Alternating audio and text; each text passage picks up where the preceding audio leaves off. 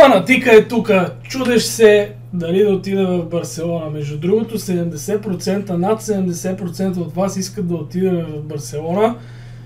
Други там 10 на 15 искат да останем до края на сезона, а другите искат да си останем в Манчестър Юнайтед. Има и такива, дето казват, ако отидеш, ще ти намалят гледанията, спираме да те гледаме, това са единици. Ами какво да ви кажа, приятели, искате реализъм, обаче няма как, разбирате ли, това е една игра.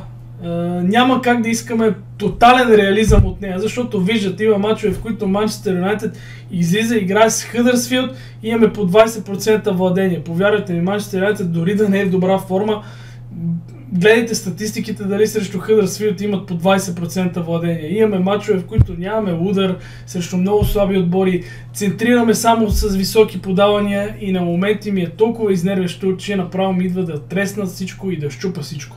Играта по принцип е така направена, че да акцентира към тия високи топки. Фактически тия физически контакти са м- един реализъм, но когато преобладават, според мен не са реализъм, а според мен са ги набутали в повече. Дали отиваме в Барса или не. Според мен най-реалното е да отидеме, нали, не можем да търсим реализъм, пак повтарям в една игра, но най-така а, честното е да отидем в края на сезона. Дали обаче тогава ще имаме тази оферта, аз просто това не мога да разбера. А, иначе ето е, офертата е добра. Луис Суарес там трябва да леко по леко да го замести някой. Може би ще намерят не, а, заместник негов, ако сега аз не приема. Не знам какво да направя. В крайна сметка тук сме за да се забавляваме. Ясно е, че не може да търсим реализъм. Аз искам да съм е, а, реално легенда на Манчестър Юнайтед, но аз игра пес, не ми подава достатъчно, а, отбора не върви кой знае колко добре, на матч имам по 2-3 възможности. Отделно на това, как ще стана легенда? Не знам.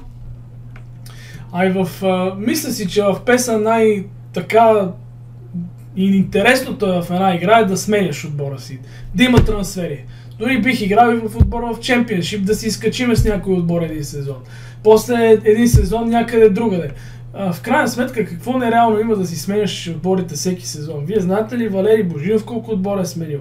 Боже, господи, Ибрахимович ги сменя всеки сезон. Има си една степен, в която си абсолютно реалистично един играч да си сменя отбора всеки сезон. Ако има добри оферти, и ако не му харесват условията там, където играе, възможно е това да се случва. Не знам какво да правим. Точно за това сега ще направим един-два матча, ще ви пусна този епизод, пак да коментирате и аз да мисля, да мисля, да мисля. Не знам, според мен най-реалистично е да, остане, да останем до края на сезона, но тогава може да нямаме офертата от Барса. А дали Манчестър Юнайтед ще промени лонг е, пас, този стил в Барселона са къси подавания, не знам. Аз лично се мъча. Имам по 2-3 възможности на матч. На моменти ме дразни, когато срещу Хъдърсфилд имаме по един-два удара и по 30% владение. Направо ми идва да щупа тук нещо, както вече ви казах, така че не знам какво да правя, разбирате ли. Но и не ми поставя такива ултиматуми. Ако направиш това, спирам да те гледам. Защото аз съм тук, в крайна сметка, да се забавлявам. Е така, да си пускам това, което снимам заради вас. Ако не искате да ме гледате, чао, лека нощ, беше ми приятно. Ако искате да ме гледате, се абонирайте да направим 11 000, но не мога да го на всички, разберете ме, приятели. Иска ми се, но не мога. Защото няма как. Ако можех да угода на всички, щях. Аз най-вече искам да си остана тук и да играем с къси подавания и да се развие отбора. Но това няма да се случи. Това е една игра. Няма как да се случи, когато нещо е зададено предварително в компютъра, да се случи нещо по-различно. А в Барса може би ще имаме повече шанс за изява, повече възможности. Не мога да разбера, но без да отида няма как да знам. Не знам какво да правим. Аз искам да се консултирам с вас. И множеството винаги е по-важно от а, така малцинството. Но трябва да разберете тези, които са малцинство, нали, така 20-30% примерно, които не искат да са в Манчестър, които не искат да отидат в Барса, да разберат другите, в крайна сметка го правим за доброто забавление и не да поставят ултиматуми. Спирам да те гледам човек, ако направиш това, спирам да те гледам, ако направиш това, Сега сяпа те деца фенове на Барса спират да ме гледат, ако остана тук. Е, това ли е... За това ли снимам? Аз ще спра да снимам. За какво да снимам? Ако ми се внася такова напрежение и ми се сърдите за всеко нещо, по-добре да не снимам, бе, приятели. По-добре си го играя как ми е кеф. Но ще ми е кеф да отида да имам възможности и да стрелям към вратата, вкарвам гола. В крайна сметка това е футбол. А дали Манчестър Юнайтед сега ще вкара гол? Да, 1 на 0. Рашфорд бележи и страхотно. Ето още веднъж подаването на Погба.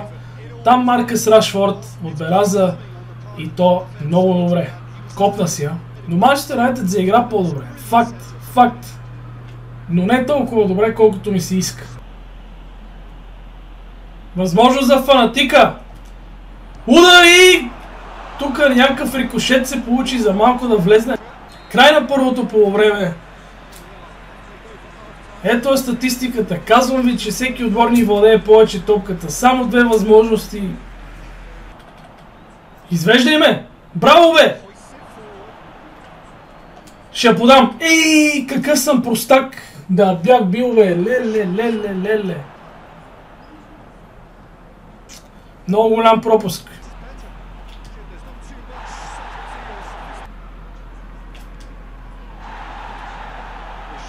Направо ги изтрепах в две последователни ситуации. Ако не ми дадат жълт картон, ще е чудо. О, къде се връщам да отнема?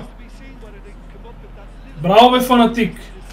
Ей, не, взеха ми е много лошо. Тук сега, ако ми вкарат, заради мене ще е. Добре бе, пак се бора. Дай! Точно така. Добре, че не я загубих там по-фатално. Айде, Рашфорд. Не, това е Марсиал. Айде, Рашфорд, вкарвай за 2 на 0. И Манчестър Юнайтед победи с 1 на 0. Труден матч. Отново ни надиграха, но в крайна сметка ние победихме. Ето е статистиката от матча. Манчестър Юнайтед играе малко по-добре, откакто игра в началото, но все още не е на това ниво, на което трябва да бъдем. Ето и останалите срещи. Не знам, приятели, какво да правим с тази Барса. Пети сме. До някъде ще се загуби така чара на кариерата, ако сега отидеме в Барса. Според мен трябва да останем до края на сезона. Една голяма част от вас искат да отидеме веднага в Барселона. Друга част искат да останем в Манчестър Юнайтед за постоянно. Но най-правилното решение може би е да останем до края на сезона. Не знам какво да правим, не знам какво да правим. Но не търсете реализъм в игра. Не търсете реализъм в игра. Разбирате ли? Дайте да изиграем и този матч с Арсенал и ще имаме още време да помислиме върху този трансфер.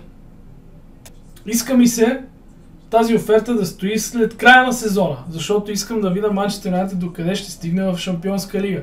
Но тази оферта може и да няма след края на сезона. Другата ми надежда е Манчестър Юнайтед вече да играе а, стил по земя. Но пък е много приятно да излезеш на Олд. Дали е по-приятно да излезеш на Ноу Камп? За мен е по-приятно да излеза на Олд Трафорд. И в крайна сметка не мога да взема решение. Аз съм Зодия Везни, това значи, че се колебая още повече. Айде започваме срещу отбора на Арсенал. Ето, пак сме на високи топки. Пак сме на високи топки. Единствено за това искам да напусна Манчестър Юнайтед, защото не издържам с тия високи топки. Имаме по 2-3 възможности на матч. Какво е това нещо?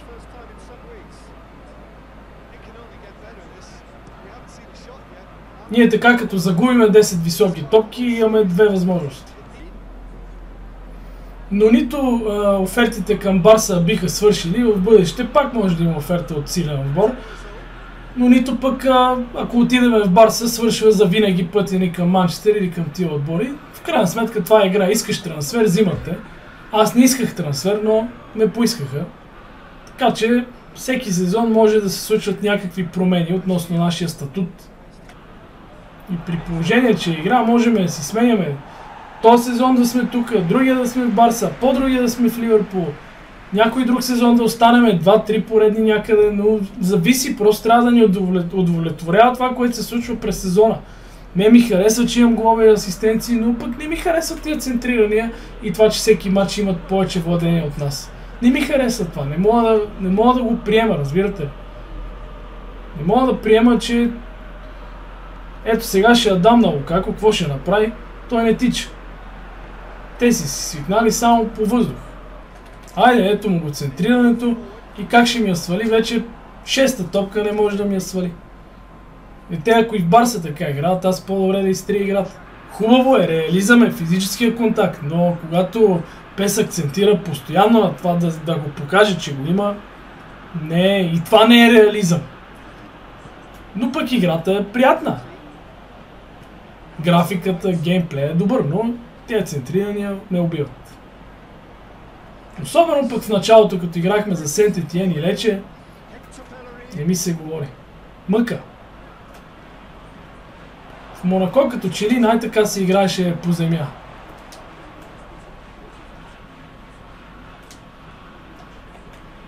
Дано да не ни вкарат. Не. Край на първото по време между Манчестър Юнайтед и Арсенал. Ще извинявате, много говоря този епизод, но ето вижте статистиката. Какво да ви казвам повече, приятели? Играе ми се, просто искам да играя с топката, да вкарвам голове и да ям удари, разбирате ли? Без значение къде. Любими ми отбор, но не може. Ето, нула удара. Какво да направя аз? Едничка, един едничък човек. 30% владение на топката, 70% за Арсенал. Тактика, ритея на високо и ни владеят повече топката и нямаме никакво развитие. Да, може и да станем пети, четвърти, но първи няма да станем с тази игра. И аз няма да мога да вкарам много гол и няма да имам много възможности. Жалко. И понякога матчовете са скучни. Не може да си без удар цял матч на Олд Трафорд човек. И това не е реално, колкото и да не обичате Манчестър Юнайтед, това не е реализъм. Манчестър Юнайтед щеше да атакува в този матч и нямаше да има 0 удара за цяло полувреме, разбирате ли? Ако отидем в Барса, според мен ще имаме 5 удара на полувреме.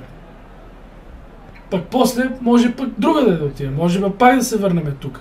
Обаче ми се иска след края на сезона, а не знам после дали ще имам офертата. Кажете вие, дали ще имаме после офертата в края на сезона. Мен това ми е много интересно. Вие искате сега, обаче да си тръгнем сега, пък е малко тъпо.